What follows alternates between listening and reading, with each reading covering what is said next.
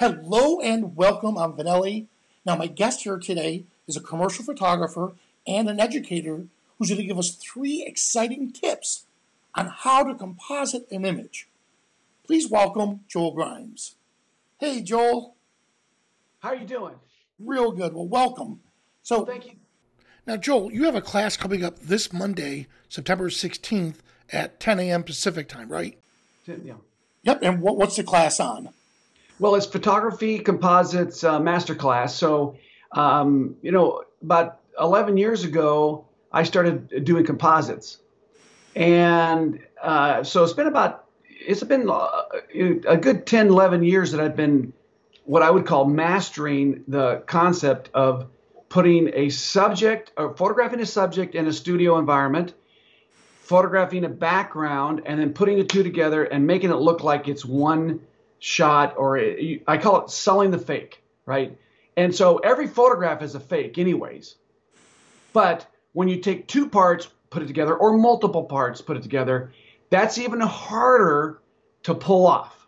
So um, I've learned a lot of skills in doing that over the years, and so we're going to talk about that. And, and one of the things we're going to key on is the concept of the backgrounds. What, because because getting the right background literally makes the shot.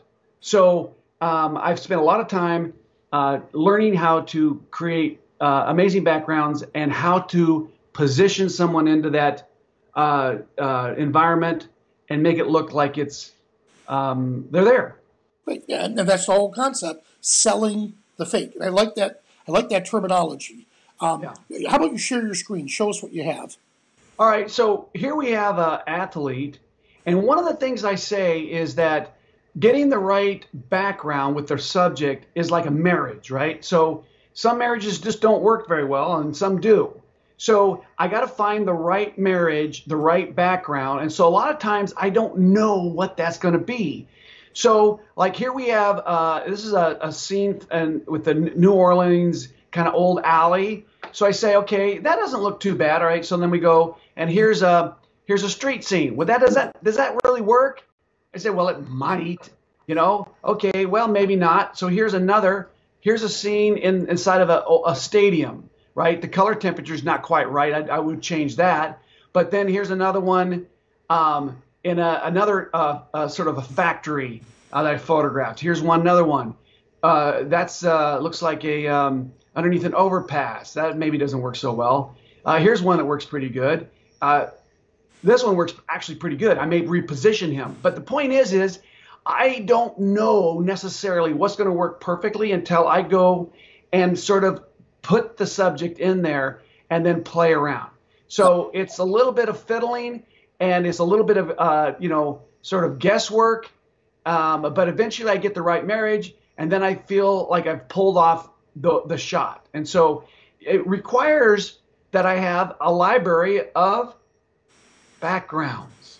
So I have been for the last 10 years photographing backgrounds every free minute I have. So if I fly and I go, uh, I go to give a talk in uh, Kansas City, I usually get there a day early, and then I go around.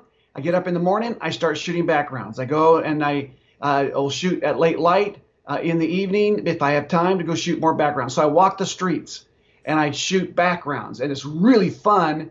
But I've done thousands upon thousands of backgrounds, and I have this incredible library of images that I've built uh, from stadiums to um, you know track and field, you name it. So it's really fun to go and build the fake or or, or the marriage and, and create the fake and win over my audience with a dramatic portrait. Well, that's awesome. Now, you mentioned on uh, if we look back at this image of the uh, the muscle guy uh, yeah. pulling up the the tire, you're saying you shot that on a what a gray background or a white background in the studio? Well, yeah, not always. Okay, but yes, generally it's a white or a gray. Now, if I get a 50% gray background, there are some incredible techniques of extracting the subject out of the gray, and it's phenomenal. White or just a little off white is actually uh, what I use mostly. But 50% gray is incredible. Now this image here, I actually extracted out of a regular scene. So it doesn't always have to be in a studio, but 98% uh, of the time, 99% of the time, I'm extracting someone out of a studio environment or a sweep, a gray or white sweep. And you're planning for it, correct? I'm planning to do a composite, yes. Gotcha. All right, well, this is awesome. Now, uh, could you go through some more of the others you went through?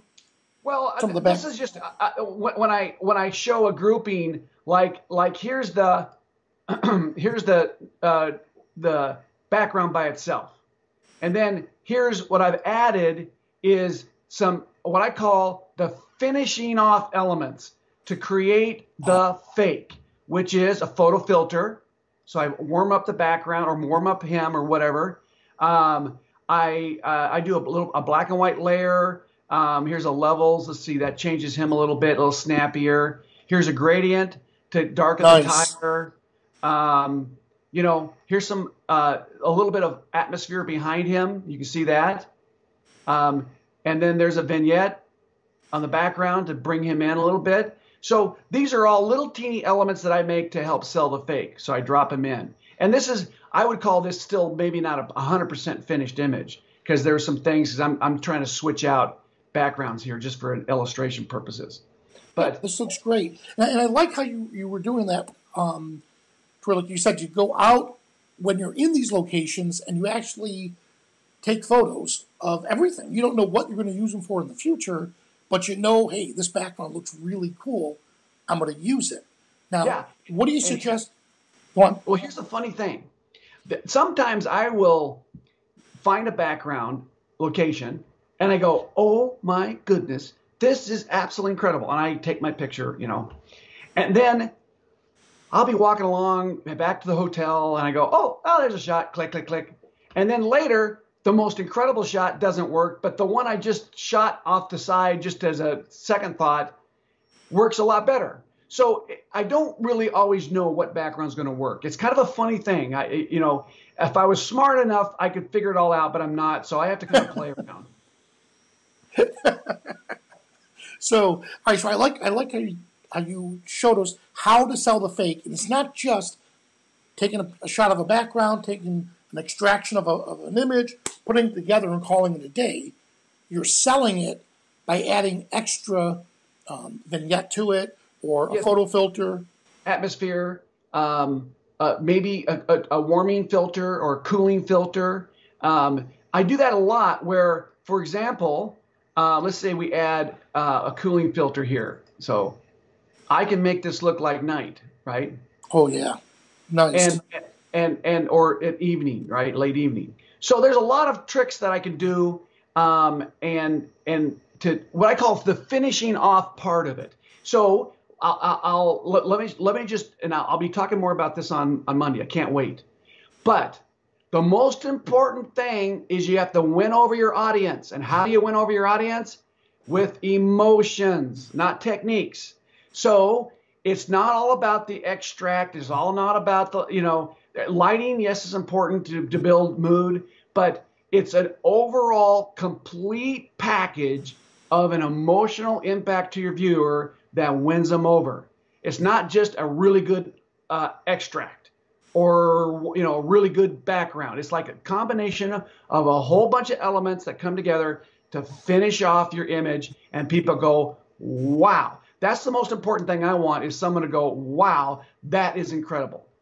Well, hey, Joe, that's awesome. Now, Joe, for those that that haven't spent the time uh, pulling backgrounds out of their images or going to the locations and getting backgrounds, where would you recommend that they find some of these backgrounds? Well, so that's what that's what uh, Monday's all about. Is I have uh, with a lot of people twisting my arm, I finally have come up and I've built uh, a bunch of groupings and bundles of backgrounds that I've done from all over the world, uh, the streets of uh, you know Boston to the you know this is actually New Orleans. I've got um, um, a whole bunch of signature what I've done my best backgrounds and we've put them together. We're going to make them available for people to use to help them with their composites. So that's what's really fun about this. And I, I've been hesitating to do this for years. I get emails all the time, people asking me to uh, make available my backgrounds, and I've just I, I put it off, and I finally said, you know, all right, I'm ready to do that. So uh, I've done that, and that's what I want to do is show people how to build incre- incredible composites, and I've done, uh, you know, some of the legwork to be able to help people do that. Oh, that's awesome. Hey, so Joe, um, people are excited. They want to see this class. Where can they watch this class?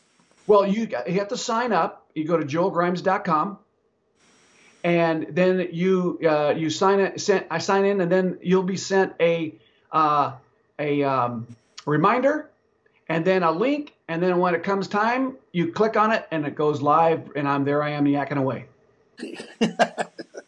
well, that's great. So, Joel, you know, um, thank you so much for taking time out. Here we are on a Saturday morning. Um, yes. And you, you had a long day yesterday, right, in LA? Well, I had I was in LA doing a commercial shoot all week, and I got in last night, and then here I am, uh, you know, going again. But I get to see your beautiful face, and that's what the day good. Well, yeah, thank you so much. Well, so again, it'll be this Monday, September 16th.